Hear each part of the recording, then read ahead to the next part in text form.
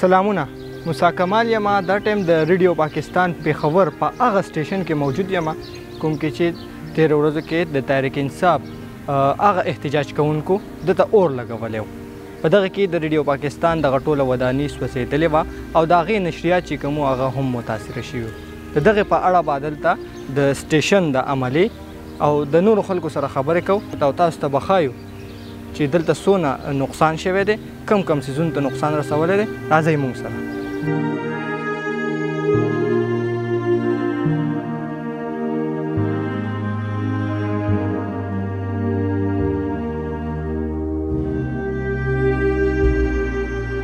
قدرمنو کتونکو دا وخت را سره ریډیو پاکستان کې سینیئر پروډوسر او زمونږ استاد سردار اعظم خان اعظم صاحب موجود دی کوم چې د ریډیو پاکستان په خبر سټیشن پي آر او هم دی یعنی پبلک ریلیشن افیسر هغه سره به خبرې کوو د ریډیو پاکستان د دې سوځېدلو په اړه بیا دغه کوم خلک وراله څنګه دو د ریډیو پاکستان ته اور واچو د دغه نه مخکې دو چې کم د چاغي په حال دغه علامتي نه خوا دلته جوړه یو ورځ مخکې دوه غوسېدل په دې ټولو سوالونو به ورسره خبرې کوو نو راځئ موږ سره السلام علیکم لالا وعلیکم السلام ورحمت الله وبرکاته لالا سچویشن احتجاج د پی ټی آی پروټیسټ روانو دا حالت څنګه جوړ شو چې ریډیو ته دغه پروټیسټرز چې د دوه مخه شو دی خو رااله دی کله دی خو مخه نه وکړي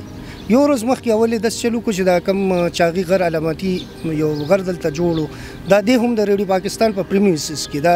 زمکه چې د ریډیو پاکستان دی د جنگلت تاو په غره اوړېدلي دی سوځولي دي د هغه نه پس وړومبی اټیک پر ریډیو پاکستان چې شو دا تقریبا دولس نیمې بجې په دغه ټیم کې شو زموږ په کم ریسپشن دی بار په هغه باندې دوی اټیک وکړو هغه زموږ چې کوم خپل سکیورټي وو هغه غوي پارک دا غنه پس تقریبا د سید درې بجو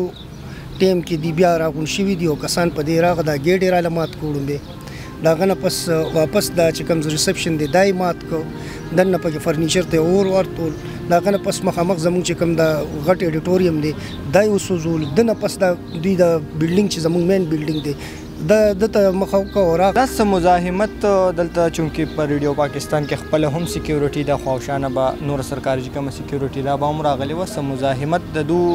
شوی وو داغې رد عمل څه وو دپروټيسټرز چې کوم دي احتجاج کوونکي دي هغو داغه مزاحمت څه رد عمل ورکړ؟ جی ګورئ هغوی سره هغوی باقی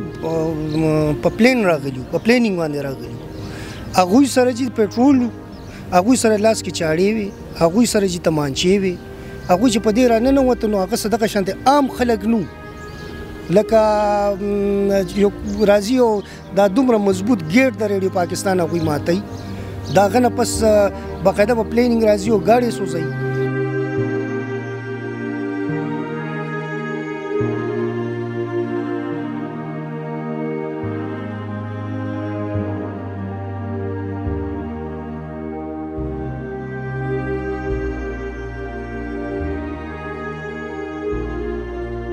دا د ریډیو پاکستان د عملی د سہولت یا د غو د ترانسپورت لپاره هغه غاړي د کوم چې د پاکستان تحریک انصاف د احتجاج کوونکو سوځولي دغه شانتي د پارکینګ نه دولس اورې تقریبا دولس نه زیات یا خوښه موټر سایکل هم غیب شوی دي ولې پاره کې دا پته نه لګي چې هغه سوځول شوی دي یا چا بوتل دي په دې سټیشن کې کړه غاړو خبرو کو داسې څلور ګاډي چې دي هغه ته اور لګول شوی او هغه په مکمله توګه تباه کړی شوي دي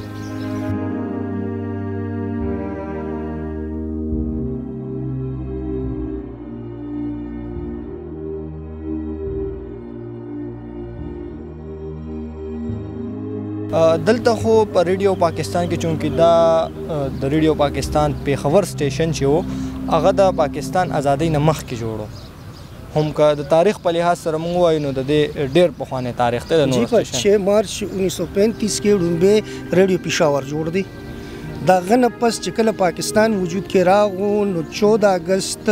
په شپه باندې سن 1947 چې قوم له کم پیغام د ازادۍ ورکړې شو هغه هم د دې سټیشن نه ورکړې شو نو یعنی په دا پښتو زموږ- کې په پښتو کې زه خپل د کتونکو لپاره دا تاریخي خبره ده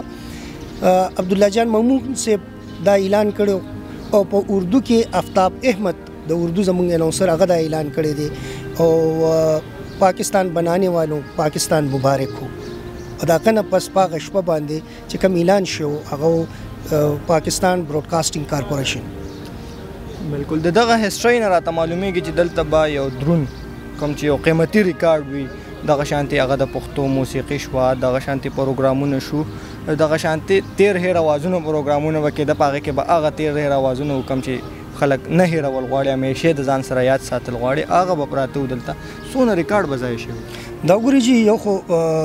مانیر شو زمون بره په فرست فلور کې ورک سټیشن جوړو چې کوم چرته چې دا پروډوسرز کینی او ایډیټینګ کوي خپل پروګرامونه الته سیف کوي هم کنه هغه کې سلور کمپیوټر سو سلور کمپیوټرز هغه وړي دي سلور کمپیوټر او هغه کې زموږ دومره پیش قیمت بیش قیمت هغه اساسه و د رادیو پاکستان ډیجیټلایز شوی هغه سانګ سو پکې تاسو د تیر هیر اوازونو خبرو کو زموږ ډیر نامتو زمونږ سینیرم دی کمپیر دی حاجی اسلم صاحب هغه پروګرام کوي دا ډیر په مهنت باندې دا مواد چې کم دي دا راغون کړي شو د ټول خیبر پښتونخوا نه بلکې زه دا وایم چې ټول پاکستان نه دا پښتو هغه سانګ سو چې هغه پری پارټیشن د پاکستان د ازادۍ نه مخکې ریکارډ شو په بمبئی کې ریکارډ شو که په دلی کې ریکارډ شو او هغه سانګز دی راغون کړو بیا ډیجیټلایز کړو په دغه کمپیوټرو کې دا محفوظ وو هغه کمپیوټر دوی ډیستروي کړی دي سه کمپیوټر وړي دي همدغه شان زمونږ چې کم ارکایو دننه زموږ ارکایو لایبرري ده هغې کې چې کوم کمپیوټر وه کمپیوټر هم وړی دی کمپیوټر یې وړی دی او دغه سی پي یوز نشته صحیح نو موږ خو دوباره دا پروګرام خپل ترانسمیشن الحمدلله الحمدلله د کې زمونږ د رادیو پاکستان د انجینرانو د پروګرامرز چې څومره دي پروډوسران دي دا غوي ډیر کوشش وو چې موږ خپل د ترانسمیشن زر ته زر بحال کو ځکه چې دې زنا زموږ کم درې چینل او نیر دي هغه یو زموږ صوت القرآن دی چې کم کې تلاوت قرآن مجید فرقان حمید ورسره تلاوت او ترجمه وي هغه 20 غنټه تقریبا دا نشریات وي همدغه شان زموږ اف ام 101 دی اف ام 101 زموږ د ریډیو پاکستان خپل چینل دی هغه ونیری بیا هم د قشان زمونږ چې کم میډیم ویو ترانسمیټر دی هغه دی 1260 هغه ونیری نو دا درې واړه په دغه روز باندې او بیا دغه نیکسټ روز پورې دا بالکل خاموش شو کار څه د قشان د کړي چې تاسو راځي په مونږ باندې اٹیک کوي مونږ تاسو له انفارمیشن درکو مونږ تاسو له ایجوکیشن درکو مونږ تاسو ته انفورټینمنت درکو مونږ تاسو له جناب علي انفارمیشن پلس انفارمیشن مونږ دل درکو او هغه انفارمیشن دل درکو چې کم په حقیقت باندې مبني وي هغه چې اتنټیک مونږ ورته وایو هغه اطلاعات مونږ تاسو ته دررسو نو په دې مونږ هر یو براډکاسټر خفه دی هر براډکاسټر سب ټول ملک په خپه دی بالکل چې دا دومره عظیمه اداره سره دا ولي وشو او دا چې کوم کسان راغلی دا دا زسو هم چې دا د محب الوطن محب الوطن خلک خپل ادارې نه خرابوي بالکل لالا دغه راته هم وای دا دونه پروتسترز رااله دلته ماحول خراب شو جلاو ګراو دغه ماحول جوړ شو په دې ریډیو پاکستان کې چې کومه عمله وه هغه په دغه ټایم کې د دې ځای نه څنګه بهر شو د دغه احتجاج کوونکي تاسو څنګه په سټارټ کې چې د هغو سره چړې چاکوانو باقاعده لوړې راغستې وي د دغو نه څنګه بچ شو یاره جی دی خو ګوره دی چې کله دا غاړي ماړي او دا شیزونه سوزول کنه زموږ مشران دلته موجود چې پاګه کې طفیل احمد صاحب پاګه کې رفعت الله صاحب ریاض احمد صاحب پاګه کې جناب علي زموږ اکرام الله مروت صاحب پاګه کې نور چې کسان هغه ټیم موجود وو دلته زمونږ د اډمن سټاف او زمونږ د انجینیرینګ سټاف او زمونږ د نیوز سټاف هغه ورته قرانونه ولا راواغشت دي جمعه ته جمعه د تلند موږ سره خپل د پرمیسز کې جمعه ته چې خو دې ته وګوره د قران مجید فرقان حمید ته وګوره دا مکه وي دا تاسو خپل اداره ده هغه دا نه دي منلي او چې چا دا غوینه ویډیو ریکارډ کول په غوی باندې شاړي غي هغه تھریټ کړی دي هغه ویډیو ټول ته پته ده سوشل میډیا باندې دي او چې کم کسان دي ځنه هغه سامان وړي هغه خلکو وکته نو ما ته خو د دې د شکل او شبهات نه خدا نه ښکاري چې د پاکستاني سړی به داسې کار کوي دا خو څه بل غونتې خلک وو یار بل خبره دام کیږي لالا چې د پی ټی آی خپل خلک په هغه ورځ باندې اسد عمر کوم چې د پی ټی آی مین رهنماو کې راځي هغه هم دا ویل چې دا کم پروټیسټر چې دا د پی ټی آی کسان نه د ریډیو پاکستان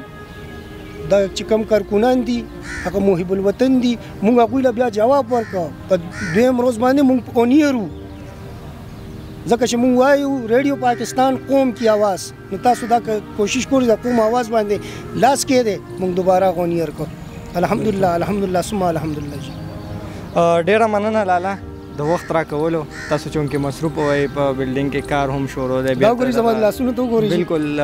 ما وکتل دغه د بحالي کار شروع دی الله دې وکړي چې زمونږ د ټولو او تاسو ته هم دغه کار اسان شي دغه شانتي زمونږ هغه اداره چې کم کې مونږ زده کړې کړې دي د اواز د خبرو او بیا د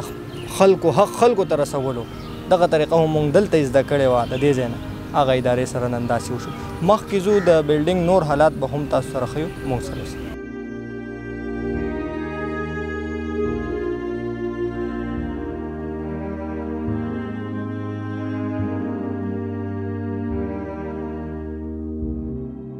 قدرمنو کتونکو د ریډیو پاکستان چارواکو ترمخه، د ریډیو پاکستان ټول کاغذي ریکارډ چې دی هغه د دغه اور په ضد کې راغلی او په مکمله توګه سوځېدلی دی اوس د ریډیو پاکستان نشریات چې دی هغه بحال کړی شوي دي او د نشریاتو لړۍ جاري ده د نورو معلوماتو او اپډیټس لپاره مونږ سره اوسئ